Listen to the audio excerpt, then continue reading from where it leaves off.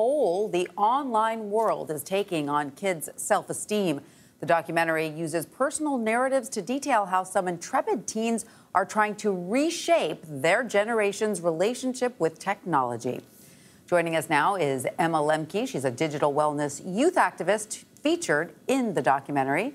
Emma, welcome. Great to have you with us. So, let's start from the beginning. How old were you when you first started using the internet and social media? I was around the age of 13. I was in the eighth grade, or I was sorry, I was in the sixth grade, but surprisingly, I was actually the last in my friend group to get social media, beginning with Instagram and gradually progressing to get Snapchat, Twitter, Facebook, and, and the rest of the really popular apps that dominate my generation. How do you think being connected and, and, and using all of these platforms impacted your self esteem? Well, I'm already someone who is predisposed to having struggles with mental health, specifically having a generalized anxiety disorder and OCD, and just being a young female navigating my sense of self and going through this incredibly important important developmental period in my life. I, I really entered these apps not really understanding the toll that they could take on my mental health. I entered these apps feeling pressured as a member of my generation, um, but I didn't understand that these algorithms in place are meant to keep me addicted, meant to take my attention to make money instead of prioritizing my mental health. So I entered these apps and left feeling more anxious, spending five to six hours a day, feeling more depressed, and really having a corrosive sense of self, specifically about my own body as a young female. And and these are all things that worked and are still at work um, and, and, take years to unpack. But again, teens are not really told that those are the possible harms when they enter these apps. So you experience these negative kind of impacts on your mental health, and you I didn't really understand what was happening, and it caused great issues down the line that I know a lot of teens experience. So how did you go from someone that was having such a toxic experience with social media? To where you are now being a uh, social media wellness activist. Tell us about that journey. Mm-hmm.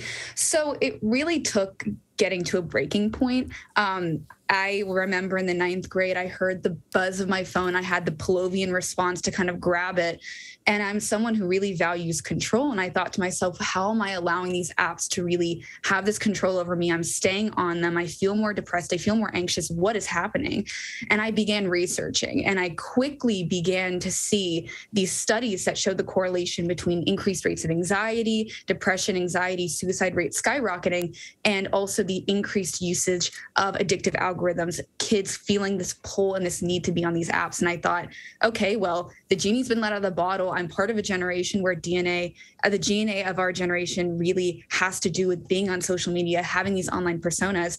How do we amplify its benefits, its connective capabilities, while mitigating its harms and, and really protecting other generations from having stories like these um, and like my own, where I really felt as though I was harmed for a while. Um, so that really rocketed me into the world of digital well being. And that's where I came up with the idea for creating a space and an epicenter where teens could have these conversations, discuss the multifaceted nature of social media, and promote the healthier usage of it. And that's the log off movement. Emma, what, is, what does Generation Z, your generation, understand about social media and the internet that other generations might not? I think it really is that techno optimistic approach. It's saying, you know, the genie is out of the bottle. Social media is something that we're going to live with. But how can we really move forward and amplify those connective benefits? You know, how can we listen to these stories of connection and, and of self expression that are really housed in these online platforms? While also understanding and hearing these experiences of teens like myself where we were harmed, we feel as though we were more anxious.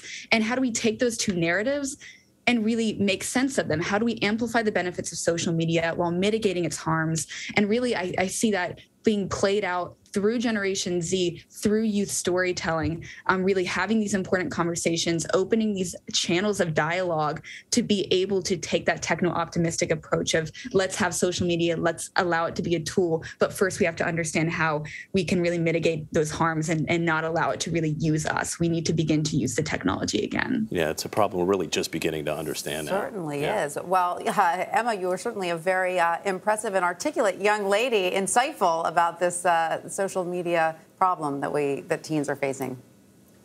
Oh, thank you so much. I, I really am always so excited to speak with other teens about this because I know it's not just me. There are so many stories out there that are not told, and that's really the point of Log Off is and technically politics and all of my digital well-being work is to provide that platform for teens to come explore their own stories with tech usage and to really explore again ways to to find those benefits and to begin to use social media in a more beneficial way. Keep up the good and important work. Emma Lembke, thank you so much.